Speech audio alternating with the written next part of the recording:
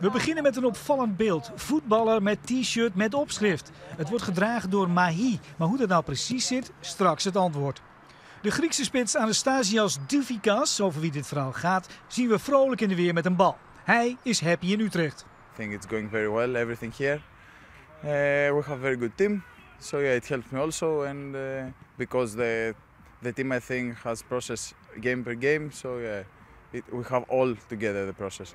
Het team speelt goed, dus speelt hij goed. De laatste weken is dat zeker het geval. De 22-jarige spits lijkt zich te hebben aangepast aan het Nederlandse voetbal, maar is er nog niet. Je merkt gewoon dat hij bij, bij een club vandaan komt die ja, wat meer onderop ranglijst speelt dan, uh, dan bovenin. Dus ook wat meer gewend is om reactief te spelen in plaats van, uh, van proactief. Ja. dus, daar, dus, dus in het, in het vooruitverdedigen, dat hij, dat hij daar ook nog ja, wat actiever in mag, mag zijn. Daarin merk je het. En je merkt het ook aan, aan, aan, dat op het moment dat hij de bal heeft, dat hij in Griekenland vaak, inderdaad wat ik net zei, op zichzelf aangewezen was. En dat hij in de goede zin van het woord maar zelf moest uitzoeken om uiteindelijk zijn eigen kansen te creëren. De coach blijft kritisch, zo hoort het ook. Maar Douvikas pakt zijn goaltjes mee. De teller staat inmiddels op 4. Naast het voetbalgedeelte moest hij zich natuurlijk ook aanpassen aan een andere cultuur. So yeah, in Greece we have dinner at 9, 10. So yeah, and here we, we have dinner at 6, 5:30. Yeah, it's crazy yeah. for me, but yeah, it's not something special. The only thing uh, I think about is football. Het tekent zijn karakter. De 22-jarige is serieus wil slagen bij FC Utrecht. Zijn drive gaat ver. Hij informeerde al bij de club of hij niet een sleutel kon krijgen van het trainingscomplex.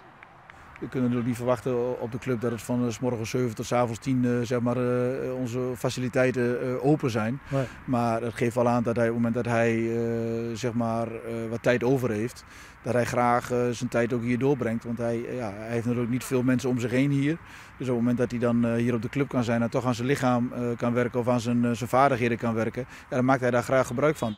Je mag het voorzichtig zo stellen. Nederland heeft al wat met Griekse spitsen. Vorig jaar nog Giacomakis bij VVV, nu Pavlidis bij AZ.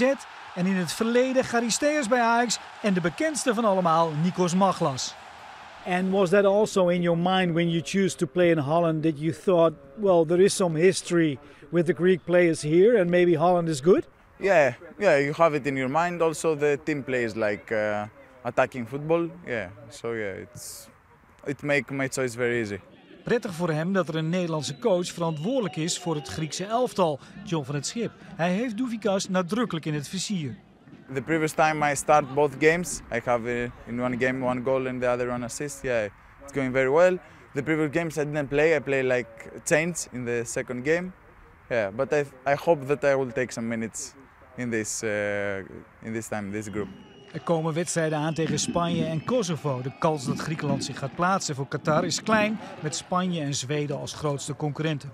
Dan tot slot nog even dit, de uitleg over dat t-shirt. Doet een speler iets verkeerds, bijvoorbeeld te laat komen, dan volgt er een straf. Wat voor soort straf bepaalt het lot? It's like a spin. We make, yeah, when you do one wrong thing, you spin, and yeah, it's sometimes if, if you if you took this shirt, yeah, for me it's good because I don't understand what uh, what happen what happens. So yeah, I don't have problem. I hope every time to spin to take this and not pay. Dus hij verkiest het t-shirt boven een geldboete. Nog maar net in Nederland en nu al een Nederlandse instelling.